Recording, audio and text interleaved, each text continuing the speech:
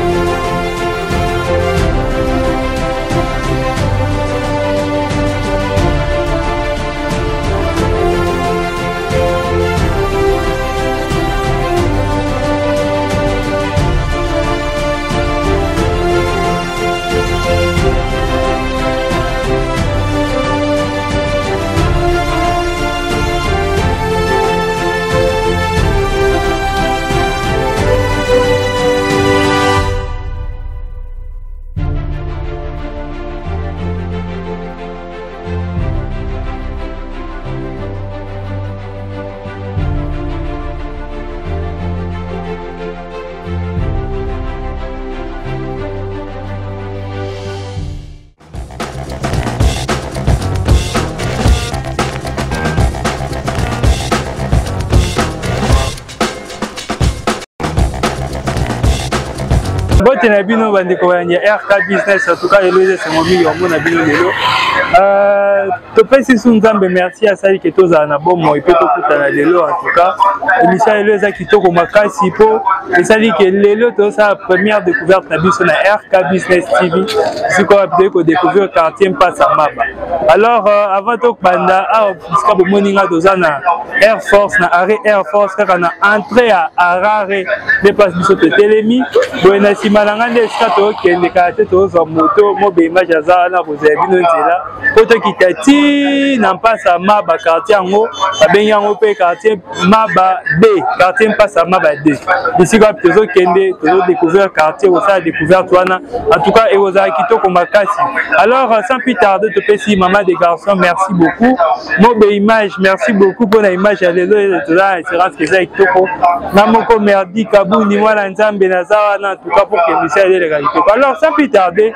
ba liboso na nga boye eza boulevard lumumba bisika wapi oyo nyonso okozwa transport oza na centre ville ozi kaka quartier 1 to kingasani eh, na kingasani to na quartier wana ozi babiso ezokende soit air force soit ezokende bibwa me batika yo na air force ntango baokitio na air force wana kaka na entrée ya arare ye okoti wana ozwi moto eza wana bazobelela baoba nde bisika esika tozokende en tout cas tozokende na nsima ne na gauche na ngai eza camp français camp ya baofficier ya police à droite na ngai eza quartier ya rare ya nsele mpe na nsima kuna nde place quartier place ebandi ya partir ya pont moko eza na nsima wana eketi quartier place ya maba bisika wapi tokende alors merci beaucoup na bino bondimi kosuivre biso boadopte biso lokola chaîne na bino kobanda kopesa bino ba ba nouvelles pona euh, kofungola mémoire kozwa ba idée sur les affaires en tout cas biso toza wana kolakisa nde congolais avivaka eloko nini congolais asalaka mpona azwa mwa 100 franc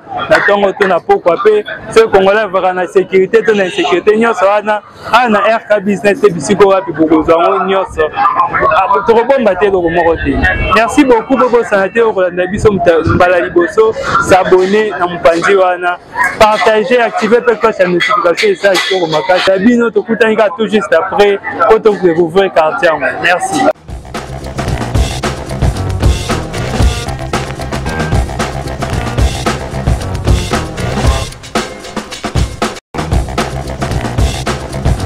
lelo oyo toza na esengo mingi mpo tozosala découverte moko ya baplace moko ya bien ya kinshasa tozokende na euh, toza na mpasa maba mais place tozokende kuna eza babenga yango baoba alors euh, liboso na ngai boye mpasi ozomona mpasi nazotala eza nzela oyo eke boulevard lumumba nzela ebimi air force ebimi quartier arare na nsima na ngai sikoyo mpasi tozokende eketi baoba babi soki charleville soki nini kuna donc nde mpasi tozokende antuka bozala deside mais so tokiti awa eza kaka mpo makambo ya kitoko tokoleka yango te tokómi na wenze oyo babengaka wenze ya loboko lokolo moko voilà wenze ya lokolo moko Ah, mais quand même euh, lokola eza découverte il faut toyeba yango wenze yango esali bambula boni eh, wenza yango oyo batekaka nini mpo na nini mpe bapesa yango nkombo lokolo moko soki loboko moko soki nini alors euh, tolukaka meme motu moko aza pembeni awa koki koexplike biso tomoni mama kuna ah, mama, mama yaka mama yaka tosololaka moke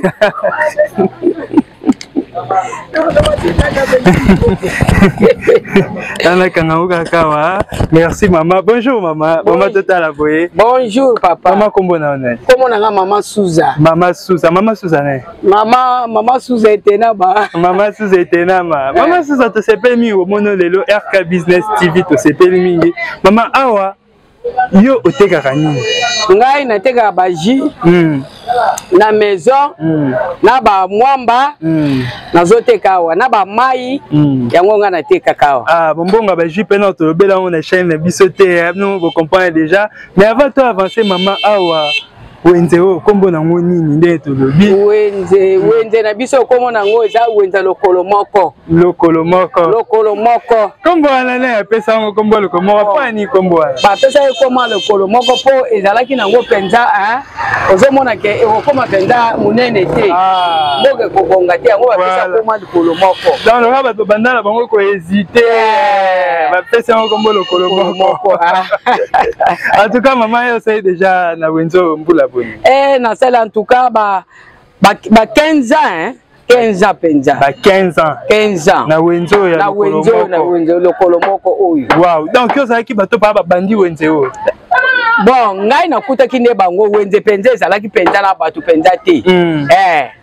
bato bazalaki mpenza te ezalaki kaka motu bandako kaka donc ba trois place kaka trois place kaka ah. hmm, mais lelo ekomi quand même na mouvement mouvement ezali voilà mais eloko ezopesa biso mpasi hmm. nzela nzela mai hmm. ah, nzela nde eza malamu te courant mpe eza te yano nzela nzela eza malamu te ndenge nini mama to comprendre nzela yango nzela eza malamu te ndenge nini basali biso nzela te toza na mposa batyela biso prince mm.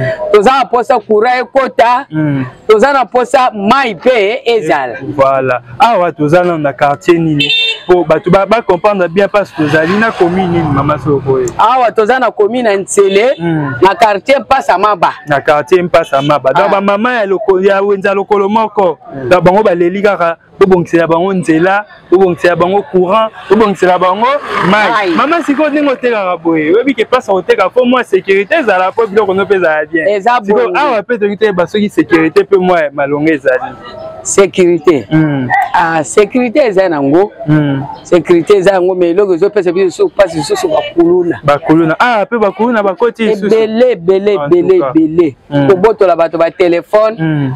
kokare bato mm. nde eloko ekomi opesa biso mpasi mwa sécurité mpenza antuka ezalaki eza mpenza malonga te mais quand même basoda bazali basoda bazali la police mpe ezali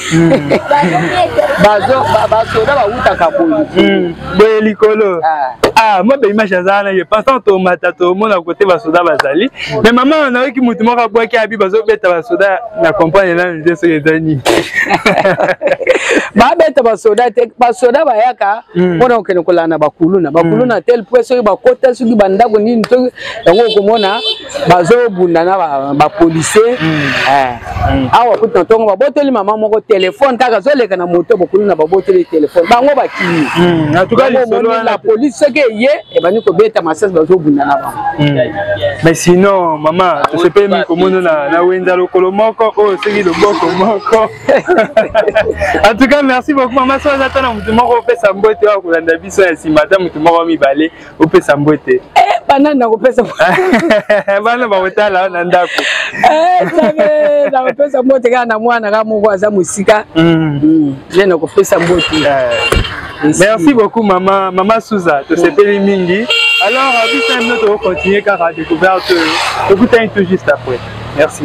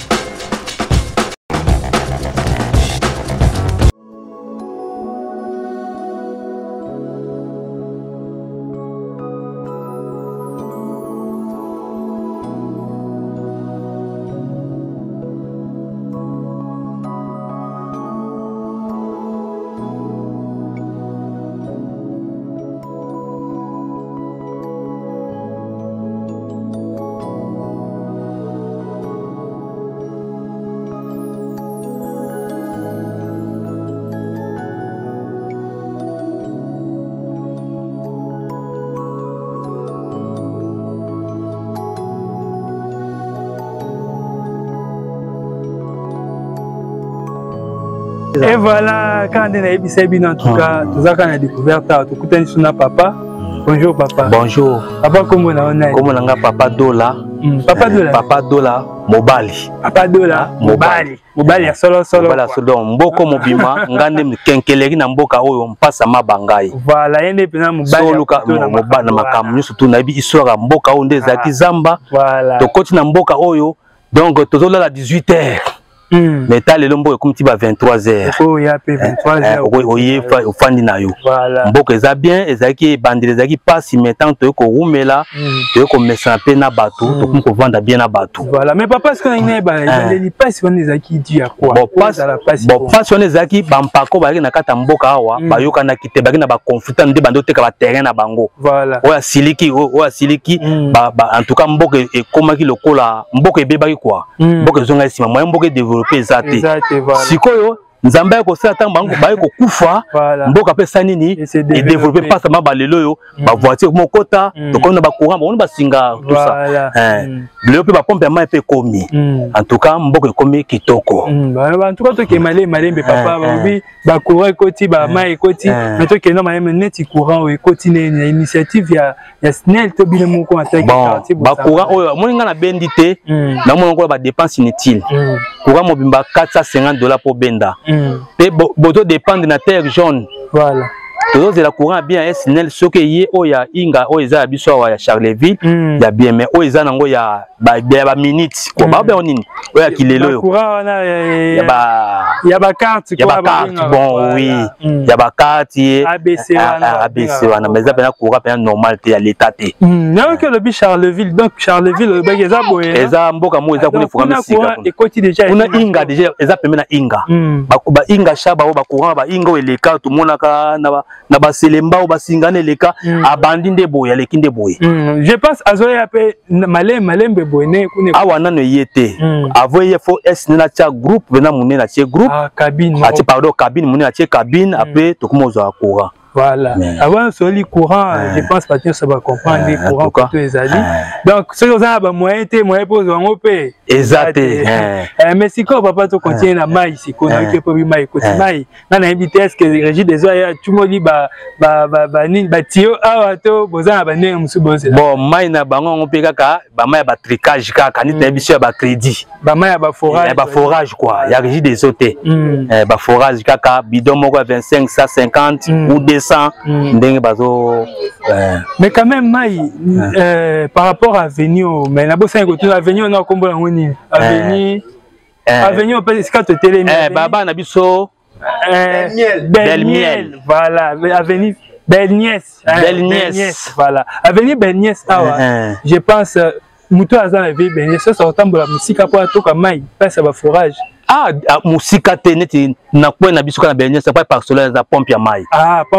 moto akonyokama te bien yango bango basala mm. chaque quartier après 5 avenue batie pompe ah. 5 avenue batie pompe eh, moto akoto mpe ake na boye oyo mpe akoto mm. ake na boye mm. nyonso wana ezaka bainitiative eh, eh, privé ya bato mpo esunga biso ah. mais na kala ta tokota ye mboko ezalaki il faut bokende mai ya motioli mbama ememaka na mabanga wana mm. botoka yango na mpasi mm. mais lelo ekomi moto bato akenda su kosuka bilamba na mai te na mai etiolaka te na lobwaku te ekomi ah. kaka apesa 50 na ye atoki asukoli papa tocomprendre deja nyonso mais mwa badifficulté ndambo eza mikolo oke hmm. okoki koyisa mpe biso mpo tocomprendre badifficulté ezokonte bino na esiko difficulté ya biso kaka na nzela kaka eza kaka mpo na nzela toza mm. mpena nzela, nzela normal te ya, ya camion terre jaune mm. babongi mpo na nzela na bango eza tout droit voilà. so babongisi biso kaka nzela ya nzela kaka boye mm. en tout cas ekebonga nango eh. mais papa obetela mpe biso solo bioko ozonga mpe 23 heures okomi mais ndenge nayeba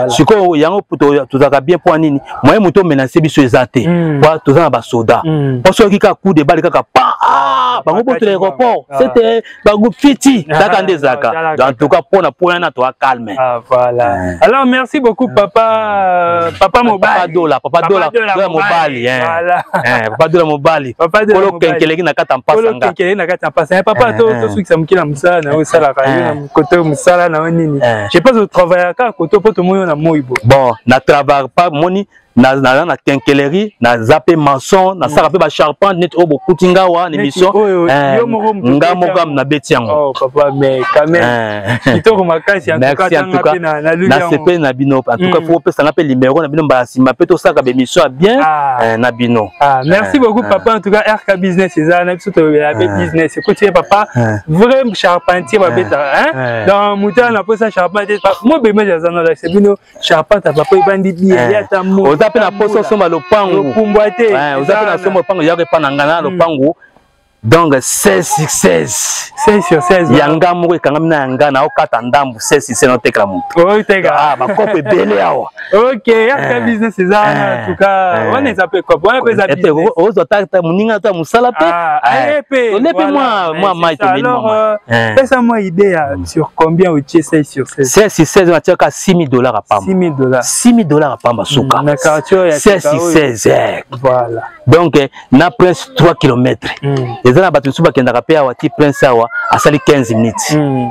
Okay. Ah. moto na moto mbala moko nzela ekomi donc en tout cas quartier eza kitoko hmm. merci beaucoup papa dola en tout cas tokomi na suka je pense ata moto moko kopesa mbote ya nsima kuna soki ekozala ata moto moko ata mibale en tout cas eh, moto oyo nakopesa mbote bapire ngai mm, bapire eh, yo napesi eh, leki na ngai ya debord ya debord napesi ye mbote mm. napesi mpene pasin na ngai eh, nani papa oyo aza na sima na papa roger napesi mpe bavoisin na ngai kuna bazolia bamapa kuna mm, mbotemela na nsamba nsamba eh. nape mpe mwasi na ngai madia mbote napesi mpe ser na ngai angele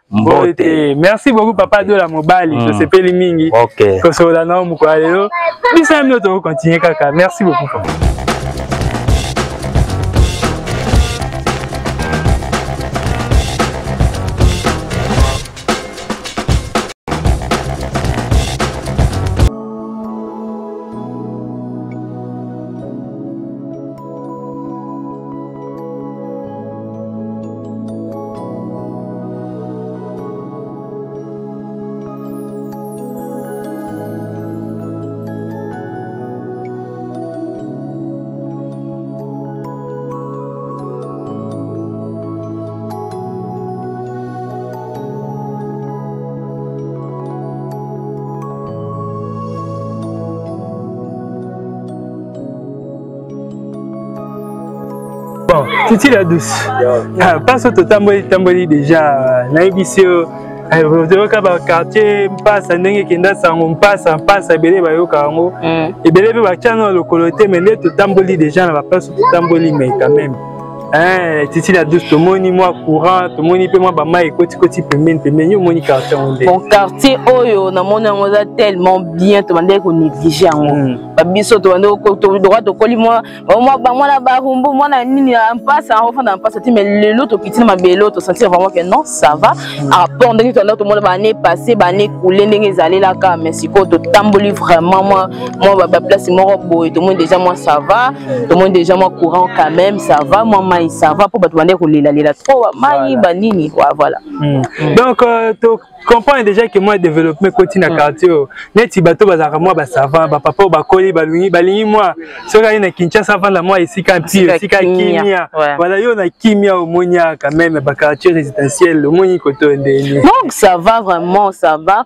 bato ya poto mingi balingaka baplace moko ya boye neti koto na moni déjà keso moto auti na ye mwa libanda alinga mwa kima mwa mwa mwa mwa famille mm. aye ah, na ye mwa koto baplace eza bien mm. baplace eza vraiment bien baplace eza kitoko ya kopema mm. ose repose songo ke no ataki nkole donc na a ah, kikole na a ah, eza mosika te eza déjà pembe deya kitoko ça va déjà yango kaka nde tolobaki awa toza na quartier mpasa maba eh, na avenue oyo awa tobosani nkombo ya avenue mai tokotuna oyo tomoni mpe mopanzi na biso awa mwa thomson eza wana mwa maba donc yo moto elinga baknde namoni nde aza boye na otondelaka a na ndako na olia na ngai te awa deja kwanga poiso ah, ezali deja sava voilà na keke mingi toke toluka kwanga mai toprofite mpe totuna nkombo ya veni mpo nga nabosani na nkombo ya veni yango bozela euh, je pense mobe image mobe image ya pusana totuna nkombo ya veni yango mpo nga nabosani na nga nkombo ya veni epa mama kote oyo je pense mama tomoni mama azoteka awa hmm.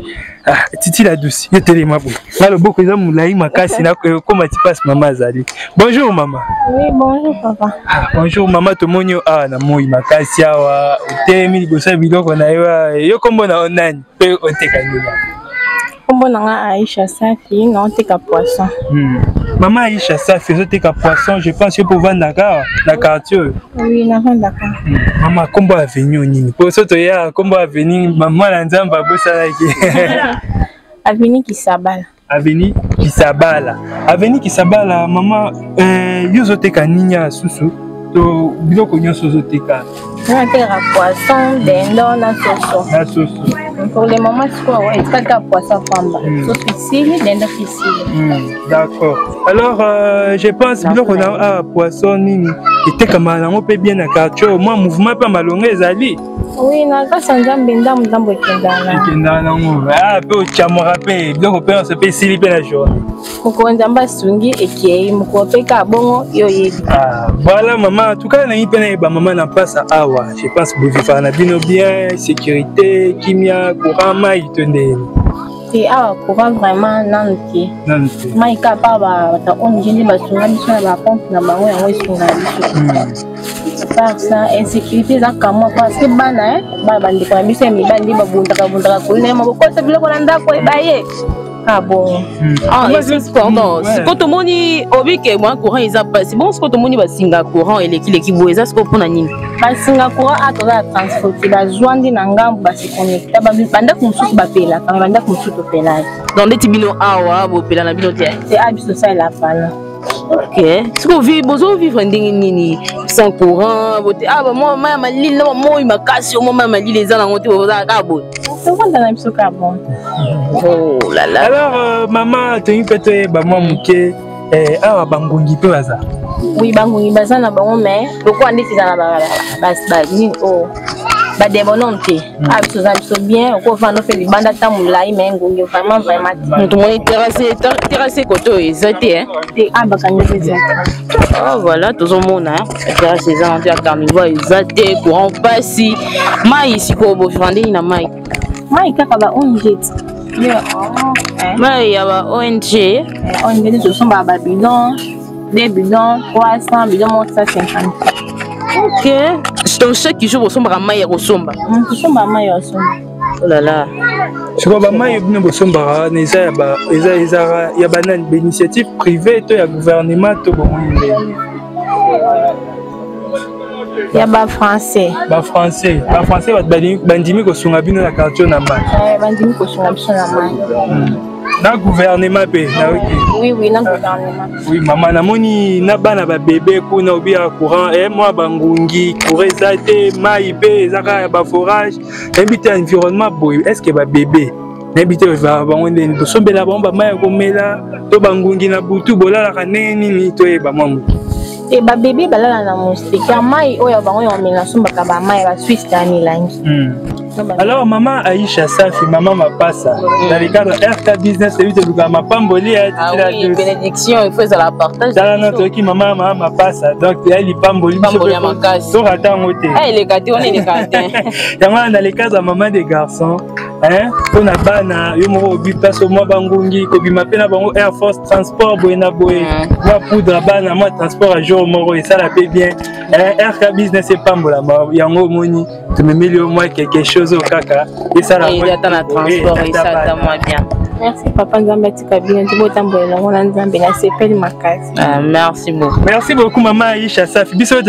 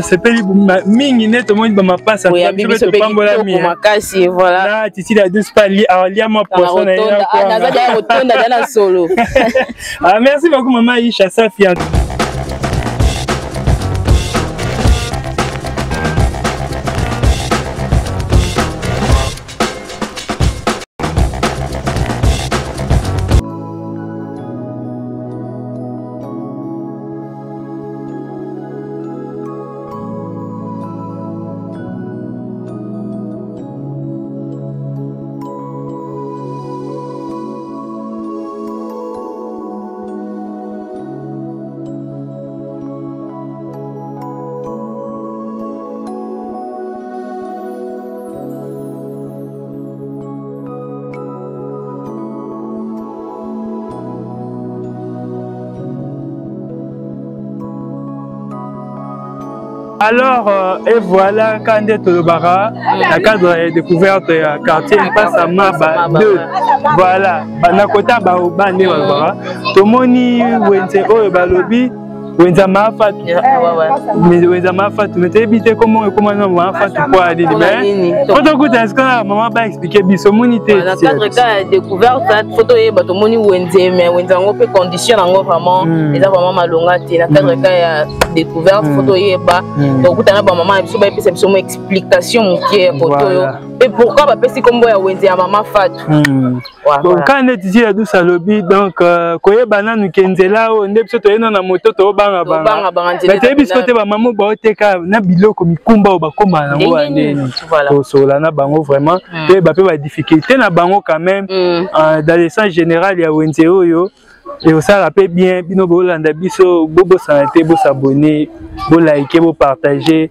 esala kitoko rk business tv toza wana kaka tokontinue makambo ya kitoko amina titi ya des tokota makambo yango ete eh, makambo yango ebandi teke epa bamama teke oluka bamama yo oluki nga mpe naluki bamama ah, bazali en tout cas merci beaucoup mobe image allons-y alors euh, tomoni mama moko awa hey. Eh. topusani pembeni mama bonjour mama bonjour papa mama tomoni yo awa mm. yebisa biso nkombo na yo nani merci ngai nkombo na ngai mama elonga mama elonga yebisa mpe biso awa toza wapi namoni na nkombo elonga donc biso awa tolongi victoire alors alors mama awa toza merci awa boza na mpasa maba hmm. mpasa maba oyo awa toza na wenzo babengaka wenza mama fatu oh, yoka na kombo yango eza kombo ya motu titi ya des nga na bana nayoki kombo na vi eh, maa fatu mpe aza awa donc toluka na maa fatu mais awa ah, tomoni mama elonga mm. mama elonga esa biso wenzo kombo nango maa fatu point merci bon topesaki wenzo kombo ya mama fatu mpo mm. ntango bateki koto oyo nyonso tiki place tokotya wenze te hmm. donc tosouffrir tosouffrir tozokendaka wenze na kan tozokendaka wenze kingasani hmm. tomoni population ekomi ebele yango mafatu na mayele na ye hmm. aye kofongolaka mwa esika moko afongoli chambre frade nakoloba afongoli awa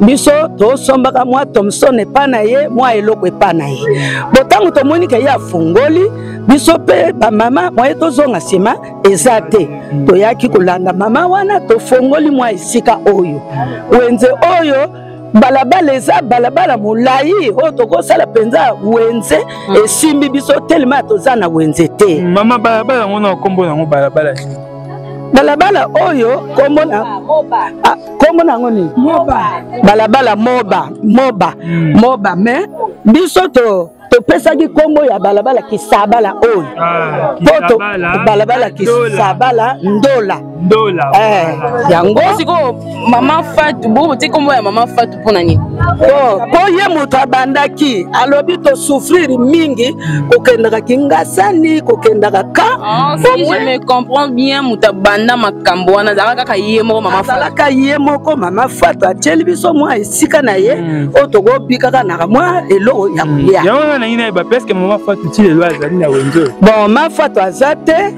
ye adeplasa na ye akenda baaffaire na ye na marke na ye hmm. eh, atikela bino mo esika kaka biso esika telema bamama toza ebele tomonaki moyen koboma esika oyo eza te yango tokontinuaka kosala mais condition ya esika yango ndenge bozomonela position vraiment papa toniokami toniokami un nzela eza te donc moyen bakoma awa eza te bashofere ya moto ya pamba bazosouffrir bazokoka kokoma awa te libengi moko eza awa awa tokunda basaki oyo totya biso moko donc eza na érosion ezomenase wenze oyo aérosion ya makasi ya makasi soki mbula ezobeta boye bino moko bokokima kotelema awa donc tozokoka te force ya biso moko bamama ndenge toteka tobongisa ezosimba te yango na mama yo mosala no awa ozoteka nini ngai kaka natekaka mapa kamwa esika oyo na bomisa ya bizare boye mpo natekaka mapa me bakoya bapanzi yango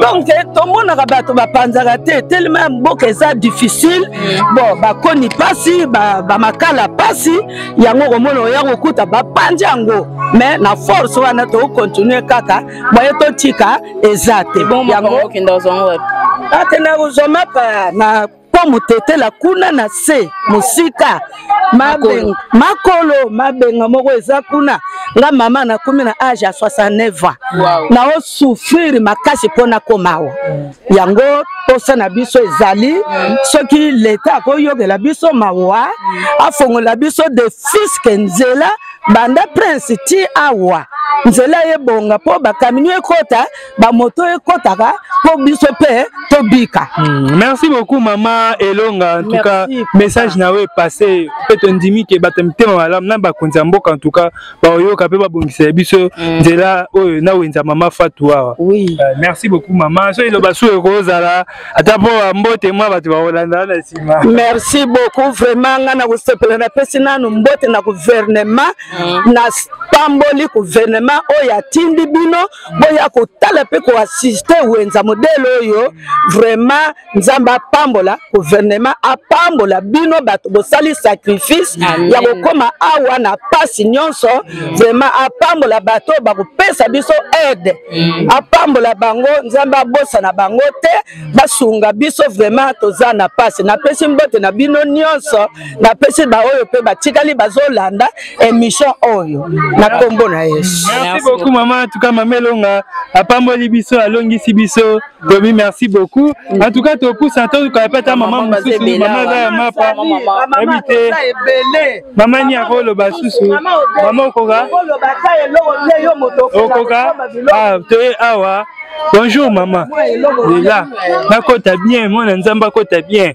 Hmm, mama tomoni yo awa ah, kombo nini kombo na nga mama irene hmm, mama irene yo ozoteka nini a nga nazoteka mbisa kokaka na basachet na basukali oyo hmm, mama tomi mpe toyeba mwa kote oyo Euh, mouvement mpe ya bien eza mpona baaffaire na bino bosala mouvement kaka nde mama na biso alobi biso mouvement eza te kaka mpo na nzela mpo eloko ya liboso fale nzela ezala mpo bato bakota ata na biloko yango tozokota na mpasi bato ya bamoto bazosenga she mpo na bazelo na banzela eza te mabengi donc moyen eza te nde yango wana donc koteka na biso eza ya pasi en plus mpe wenze eza te esika oyo toza awa eza lupango ya moto azoderange biso na suka sanza omona koteka eza te aya kosenga bambongo donc totekaka na pasi sikoyo mama ndenge balobi ke toyoki mama na biso auti koloba ke bazopanza bino awa banango baya kopanza bazopanza biso kaka bana oyo ya bakuluna oyo bakuluna oyo eza partout na kinshasa toyebi te gouvernement na biso elobela biso bano kaka ya bakuluna omona net lobi totekaki te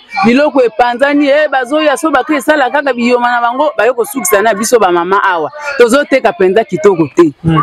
mama nayoki olobi ke nzela mpasi ngai namoni a ah, mama na bacondition mwa mokumba ya libumu na bamoto yo sikoyo oarrivaka ndeni kolongola biloko kuna koya nango eh, na bamoto tozoyaka bongo na mpasi ata mokongo ezosala mpasi ata libumu esala mpasi tala kaka mboka eza na mpasi mpe moyen ovanda eza te mm. toyaka na mpasi wana kaka mm. mais en tout cas en tout cas ba courage mama mpe félicitations omoni kolembi te euh, ozobunda kaka mpo ke na ndako eloko ezanga te ba félicitations mingi na yo mama alors euh, mpo na mwa liloba suka na ndenge bomoni biso awa soki mpe liloba na yo eza ya kolekisa na bakonzi ya mboka mpo bayoka eh, biloko oyo oh, okenda kosombela yango wapi okenda ntina pascal ntina pascal eh. bon pascal soki oki osomba nano biloko oyo okomisa mbongo kombe oke kosomba na difficulté okutana nango transport est ce que omona mpe mwa bénéfice bénéfice mpenza eza te na biloko ekoma donc bénéfice nyonso ezotika kaka kota bakolo biloko ozomona ozolanda kaka 200 osomi mbisi na 1300 oyo kolanda otie 1500 donc olanda kaka 200 franc oye lisusu mpe na batransport yango mpe passe donc moyen eza te tozosala kaka na mpasi kaka bongo ah, en tout cas merci beaucoup maman je pense tokomi na biso na suka mais tosepeli mingi kosolola nao na moi ya lelo en tout cas eh, mwa mbote asuka kaka eh, topesi bino kaka mbote kaka na bakonzi na biso baoyo bakokota likambo na biso oyo bakosalisa biso nzambe apambola bango mpo na oyo nyonso bakosalela biso totiki nyonso kaka na maboko ya nzambe mpo nyonso totikaka na maboko ya nzambe na nkombo na yesu amen, amen.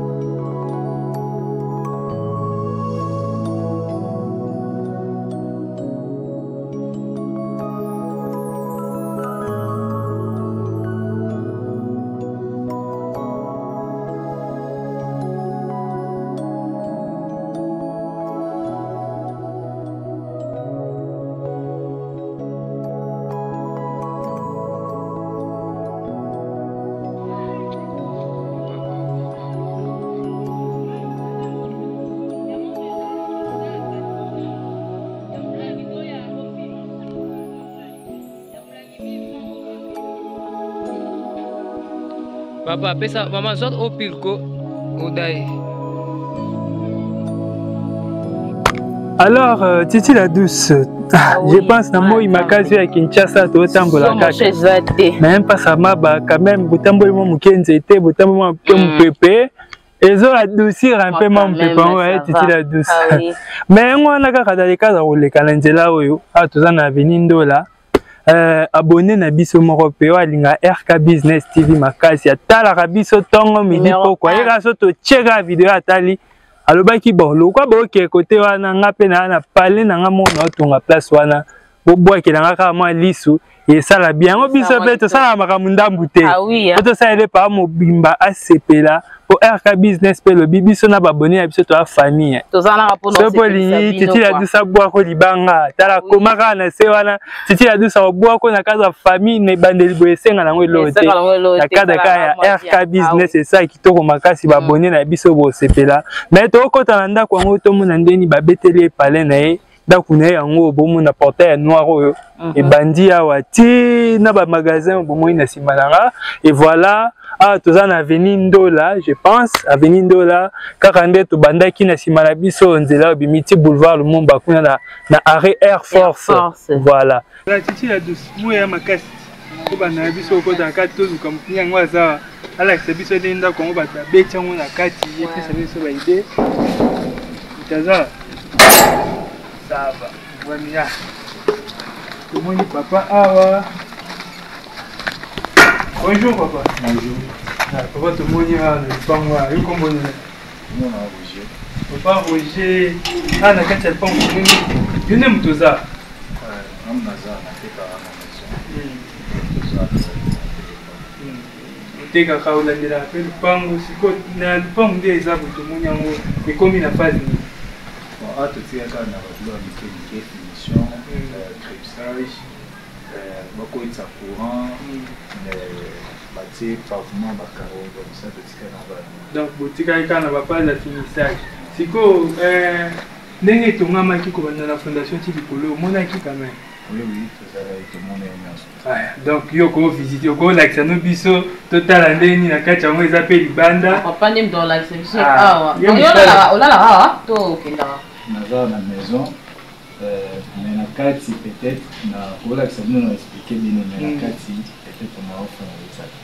D'accord. Pas de problème.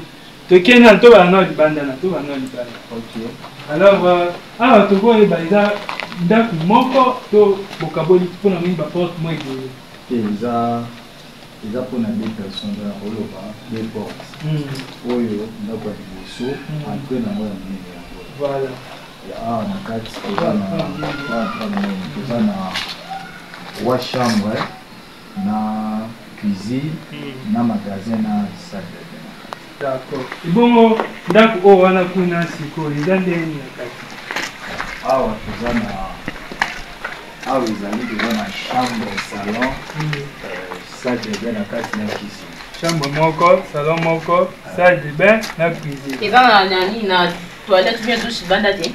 Bon dushi banda tosala yango toza nao na temps mpo tolinga soki tosilisi hmm. après tosali mpo mokwa ya kokoya hmm. nakosa koutilize na banini ezali mais mpo na koratanda biso ato toza na maison hmm. tokozala na obongo te toza na toilette na biso mpo basala mpo na biso eza boye to boye eza boye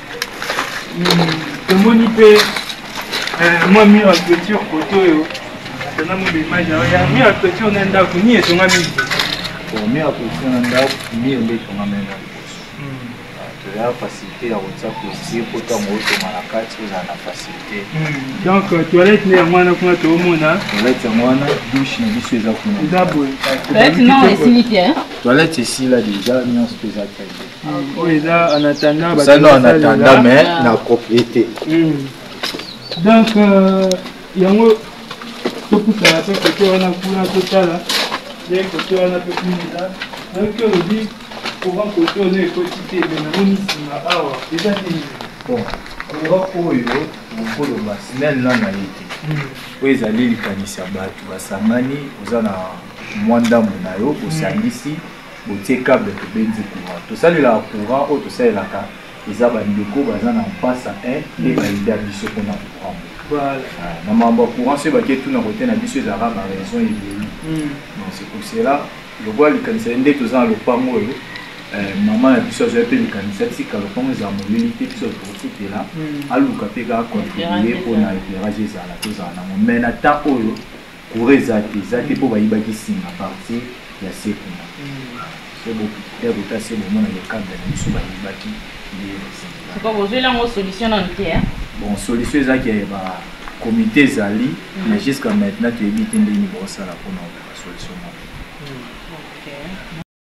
alors papa roger olobi makambo ya courant mai ngai nalingi nayeba bacourant yango ezalaki bainitiative ya nai nani yango abandaki ke nabenga bandeko baya tosangana mpo eh, toluka totya courant na, na quartier ah, merci toza na bapapa oyo basanganaki oyo nakoki kozala na mémoire bien mm. parce que toza na deux côté mm. côté ya likolo ya baoba baza na mm. bato basanganaki toza na papa eh, munongo mm. munongo Eh, tozali tomona ye bapapa roger na kati hmm, na bato mosusu bazala ezalaki wana d'accord donc euh, sikoyo kosangana na bango nayebi te soki okoyeba ye estce ewumelaki mwa bambula to bato mosusu bamona ye baaventure bambongo elimo eto ndenge bon normalement idée ezalaka ke bato basangani babandango banda kala hmm. nayeba toza bato erreur mpe kozala bokosangisa famille tu mbongo emonani te hmm. bokelani mais eloko ezalaki ya motu ya kimporteur ezalaki tomona ya proeza hmm. biso ata malgré tout wana me tomonaka ke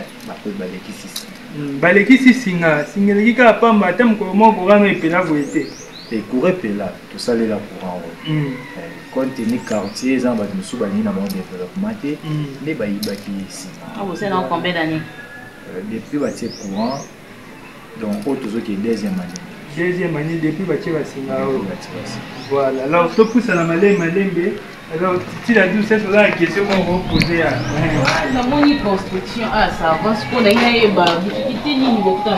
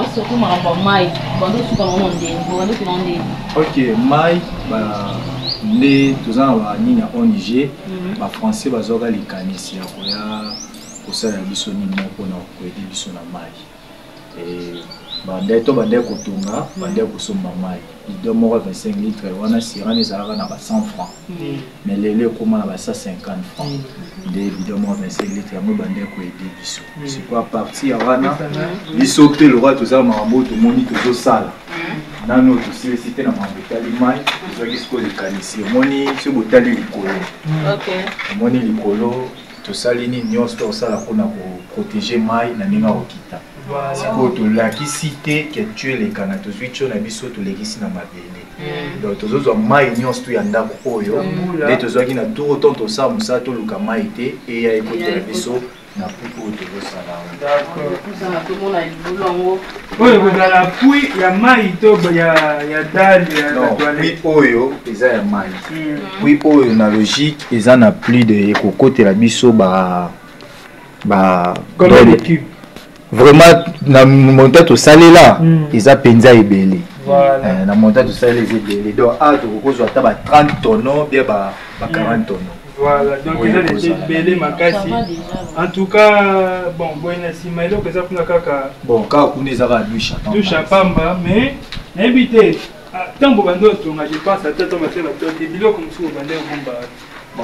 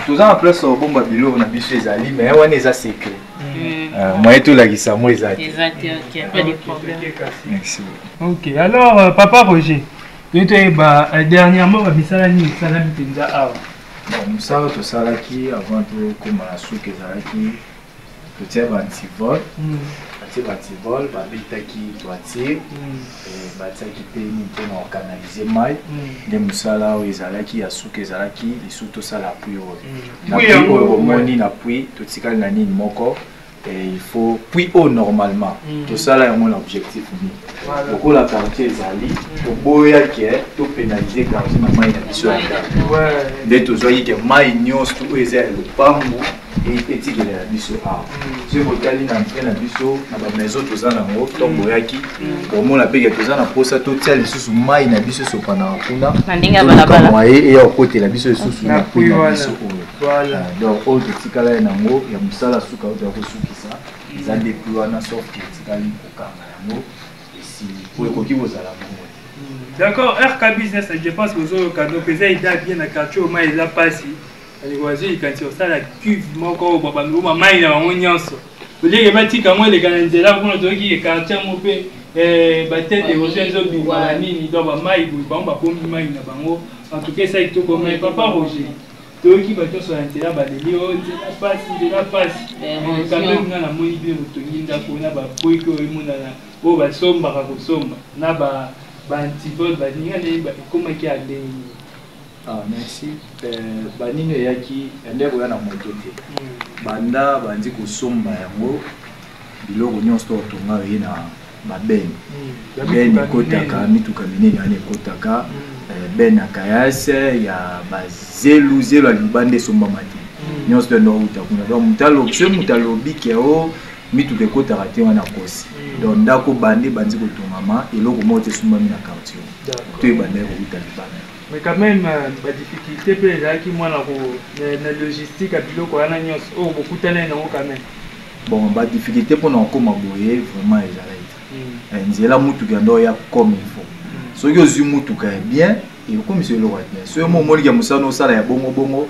ozwi mutuka na bongo bongo mpo moto asalaka mosala oyo ye alingaka eloko ya bien eh, donc apesi eloko mpona ya bien ekoma mais soki yo mondo ye na osali bisasa no omonaka ya quartier ezanga donc euh, bino nyonso bocomprendre ke volonté na yo moko kaka mokolo ndako oyo Tele tellement bato ya RK business hein baza da eh, habitude wana basalaka makambo ya bien eh, ne baboni ya biso soki basalaka makambo ya bien bango babeti mpe koya bango na ndenge ya bien je pense eh, awa ndako etongami quand même na moto moko atyangana te eza meme na ba bato bani oyo balongo bani voilà mpo na kosala mosala oyo neti baarchitecte baingénieur banini Ndako mpo etongama, bayaki na moto aetidiaki mabele ya liboso, ya mibale, ingenieur bazalaki etongami mpenza donc motu ye moko atalaka eh, batongi yango omona semaine ebandi na se batie ti likolo awa ndenge mati donc eza mpe ndako otambola partout otika omona briki te oyo babeti na nini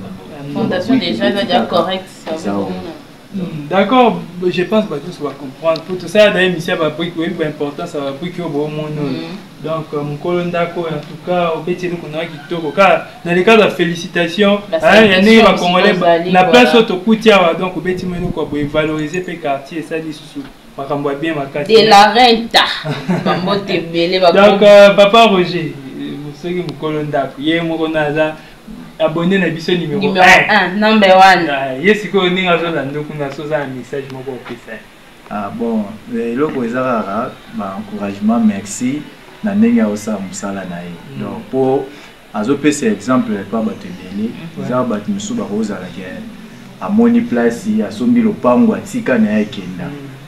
mais asali mosala oyo toyebisa yo mosala esalami mm. donc ezaki apesa confiance apesa ye confiance epa baingénieur bato mm. basaleli ye avandaki nde basali mosala biso totalaka na miso mm. donc vraiment mama place ozali toloba courage vraiment eh, nzambe abakiselo lisu ya mingi toza na mposa bandako ya boye ezala na quartier donc lokuta peut-être bokozwa biso kaka boye bozwi toitire te so obimi libanda otali na toitire ozwi mpenza na toitire bien otali soki moto aolekana akamwa so omeki kofungolaka porte eza polele moto amoni fo akamwa e ndako ya boye ndako ya boye donc seke asala mpenza toza na mposa bato mpe ya boye bazala ata 10 20 mpo na quartier ezala malamu merci beaucoup papa roger en tout cas tosepeli makasi nde tokoti awa tokuti mpe eloko ya kitoko makasi oyo eza ya koencourage vraiment alors euh, je pense ata mbota suka kaka mbota suka ah, merci mais mbota suka eza kaka Eh, na wapesa mbote asuka na mokolo ndako oyo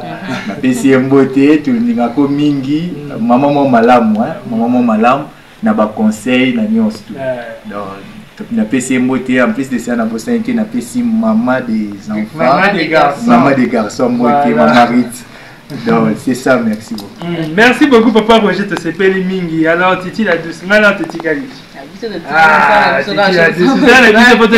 mwana nzambe bacommentaire wana ezanga te titi la douce omoni ndaka ba nigeria a ah, na mpasa maba ya abone na biso nana mona te tomonaka na batelevision tosentirance ko lelo awa na mpasa to biloko ya boye namoni ka awa eh. nayebi te totamboli tomomonimona amoni mwa toiture moko boye beti mwana mosika na bi hmm, biloko ah, kitoko eza me baye bozineli biso ko ya motu na biso mpe en tout cas eza quand même ya koako yo oza mpe libanda mboka oyoki bamapango wana na mpasa maba mpe ndenge ezali sombi mpe ya yo beti mpe losomba numero na biso eza wana ocontacte développe mpe quartier ah oyo lisusu de plus en plus mpo tozalaka gouvernement te yo otye loboko na yo moninga mpe atye ya yo omoni ke na bino moko kaka développement ekoti mboka ya biso ah mpe etongami ah alors euh, titi la douce Mhm. Je pense euh, awa tosuki kaka awa non Non tosuki kaka awa mwa salutation na mama na mama Anita Babe Bobby mère ya ba jeune mhm. mbote ebele ya papi Charles mon papi chéri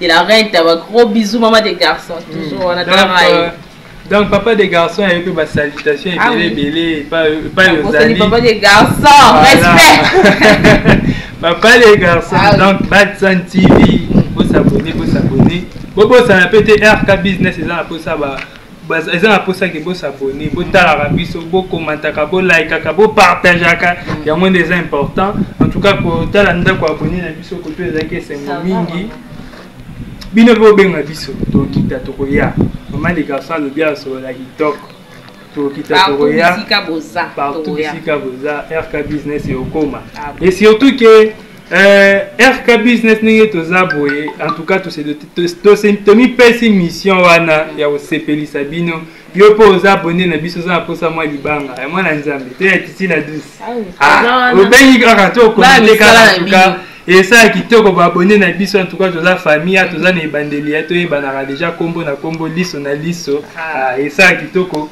merci beaucoup en tout cas tokutani tout juste après ah.